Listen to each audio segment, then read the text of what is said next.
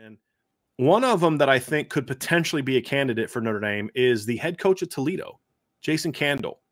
That's the next guy that I want to talk about, Ryan. And, and he's a former offensive coordinator. He, I believe, was Matt Campbell's offensive coordinator at Toledo. And then he got the head coaching job there. He calls plays for Toledo. And if I remember correctly, Ryan, correct me if I'm wrong. Yep. I believe he was also someone that Miami interviewed for the offensive coordinator job last year, and I think he turned it down. If I correct. if I if I'm correct on that, he turned it down, decided to stay at Toledo. So he is at least open to the idea of potentially going somewhere a bigger school to become a coordinator, which let's be honest, then would set him up for a head coaching opportunity at a bigger school because you're not going to hire the Toledo head coach at Michigan or Notre Dame or Alabama. You're just not going to do it, you know, unless he has insane success. PJ Fleck has an undefeated season, goes to Cotton Bowl, and he gets hired where? Minnesota, right? You go 14 and 0 at Notre Dame and make it the Cotton Bowl, you're getting whatever job you want, NFL, college, whatever, right? So Jason Candle is an intriguing option, right? And here's something that you and I were talking about beforehand that I'd like for you to, to dive into. He's run very different offenses in his time at Toledo that was geared around what his personnel was good at. And when you explain that to me, because you know you're a little bit more familiar with the that part of his offense than I am, explain that, Ryan, and why that why that matters, especially to a place like Toledo, but even why it would would be good for a place like Notre Dame. Yeah, I, I mean, I, I, think that when you talk about great offensive coordinators and got and great coaches in general, you always assimilate to the talent you have, right? Like that is such a big concept of being a great coach. And I mean, when you think back to like when he was with like Logan Woodside or like somebody in that more mold, they are more passing options than what they currently have in Dequan Finn, who is a little bit more of a runner comparative to what he's typically had. So when you look at what he was able to do, you know, kind of in his earlier years at Toledo and then early on as a head coach there as well, because he's always been the play caller for Toledo. Like he's always been the main play caller. And you saw some RPOs out of him. You saw a little more pro style system. You saw, you know, some spread elements, but for the most part, he's he really offers a lot of different looks. And that's what I really I mean, there was some 12 personnel thrown in, there was some 11, there's some spread uh, concepts early on in his career. And then he gets into Quan Finn over the last two years, who, you know, has developed into his very good starting quarterback now at, at Toledo. He is a much more athletic spread quarterback. That's what he is. So you're seeing them almost exclusively in the gun now. You're seeing them with a lot more 10 personnel, some 11 personnel still, and really spreading the football out. They don't, I, I haven't seen personally of the couple games that I've watched this year a ton of RPO action, basically what he's doing, but you see a lot more read action, right? Like a lot more pull, read option, ability for him to get on the edge, that type of stuff. So, I mean, if you're asking for me, like, do I think that he can get the most out of the players that he has? The answer is yes, because he has shown me, despite the style of quarterback and the style of players that he has had, because they also had that Bryant uh, Roback, uh, Koback kid at, at running back over the last couple years, not this year though, and they were much more of a inside zone, but also some power concepts last year. This year, they didn't have that type of running back anymore. So they really need to put more on to Quan Finn's plate as far as being the main rusher in the offense, being a much more heavily used player. So, I mean, I love that fact, man. Whether you're working with Sam Hartman in 2023 or uh, hopefully Tyler Buchner in 2024, yeah. I have confidence that Jason Candle can, you know, fit those guys into what his style is because I have seen him run multiple offenses, multiple wrinkles of those offenses, multiple philosophies within those offenses as well. So I think he's a very he has a lot of variety to what he does. I think he has a very good mind for the game because that's the one thing we don't talk about enough is if for an offensive coordinator or coordinator or coach in general to do those types of things, you have to be very smart, right? Because you have to understand what you can do, what you can't do, and what you can't push too far. So I really like Jason Candle, man. Underrated guy as far as looking at this job, in my opinion. But I think he's a really smart offensive coach who I wouldn't be surprised if he's got a big time offensive coordinator job in the future, if it's at Notre yeah. Dame or not, in my opinion. Yeah.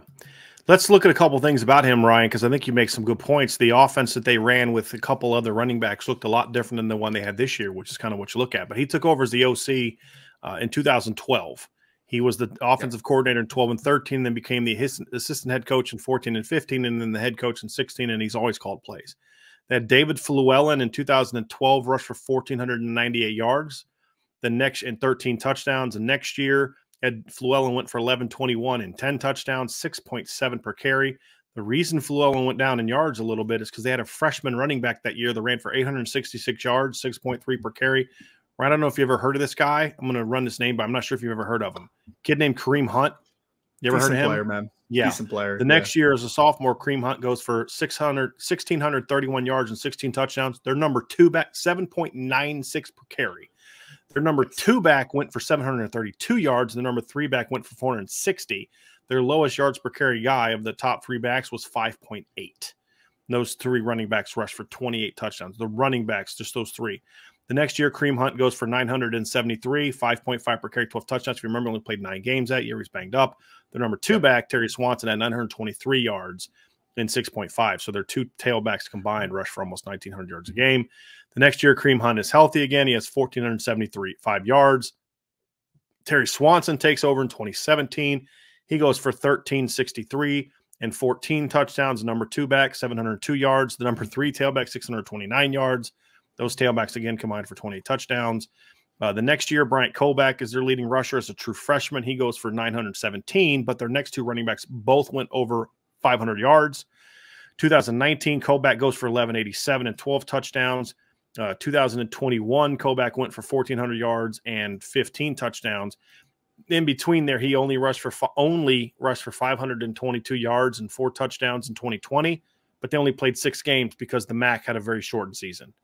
Yeah. He was on pace for over a thousand yards again. So Brian Koback would have been a thousand yard rusher each of his last three years. To Ryan's point, they didn't have that kind of tailback this year. They only they didn't have the same depth. So they took and they had a quarterback that can run. So they took more advantage of Dequan Finn, who uh, rushed for over 600 yards and nine touchdowns. So to your and, point, and Ryan, you'll remember to, to not to cut you off, mm-hmm. but he's Go also a player that Notre Dame saw last year, right? Brian Koback had a long run against them. Dequan Finn had that touchdown, the go ahead touchdown where Notre Dame mm-hmm. had to march back. So you've also seen a little bit of his offense, right? And to your point, he rushed for Koback rushed for 114 yards in that game. Yes. Yep. So, and they scored 29 points on Notre Dame. Uh, 20, 23 points offensively, or 22 points offensively because they had the pick six.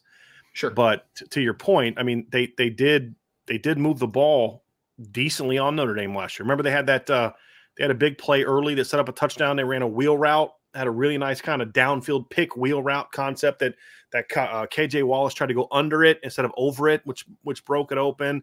Uh, Koback had a sixty something yard run in that game, and then like you said, Dequan Finn uh, had that read zone pull where he got outside and and, and uh, scored that touchdown to put him ahead.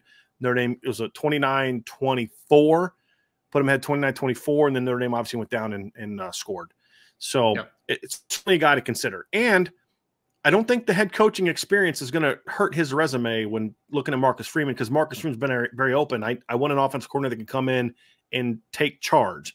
And that's why a lot of the guys that we looked at, other than Joe Brady, a lot of the guys we looked at that we think are going to be top candidates are all older coaches, veteran coaches that have experience. And I think that's a, a very important thing, in my opinion, uh, for Notre Dame to kind of come in and and consider you know, yes. when you talk about wanting to get a guy that that really knows how to take charge of that room. I'm not saying that Tom Rees didn't. I'm not trying to get into that. I'm just saying that's what he's looking for in this hire. And yeah. and uh, Jason Candle not only knows how to control an offensive room, but he's been a head football coach, and I think that certainly helps. And he's an Ohio guy, you know, so he you know he's coached in Ohio. I mean, he, he's only ever coached in Ohio. He played at Mount Union, coached at Mount Union for seven or eight years under the greatest. I mean, if we're going to be real about like greatest coach ever, regardless of level, it's Larry Kehres.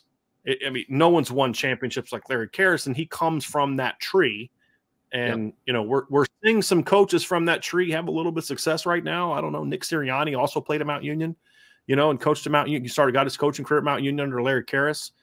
So you know, there's a nice track record. He hired Lince, uh, very Lince, uh, Vince Kehres, Larry Kehres' son, to be his defensive coordinator.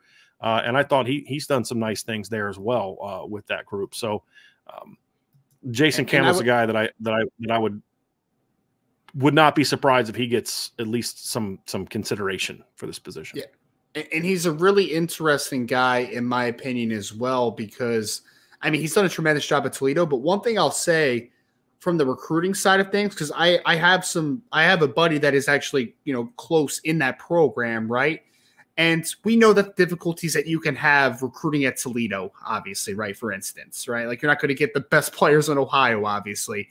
They, although it's never going to be how Notre Dame operates as much, they have had to make a really swift adjustment over the last year or so to really going after portal kids. Like, so I, I just want to kind of put that element out there because this was something to my to my knowledge that was Jason Candle's kind of like push real quick, right? It's like we can't be left in the dust. We need to be proactive with understanding the landscape. So I also think that he has a little bit of that to him where it's like, not only do I think he's a good play caller and a good offensive coach, I also think he understands that the landscape changes pretty quick. So you kind of have to be very kind of on the forefront and have a little bit of, of proactiveness in trying to make some of those decisions.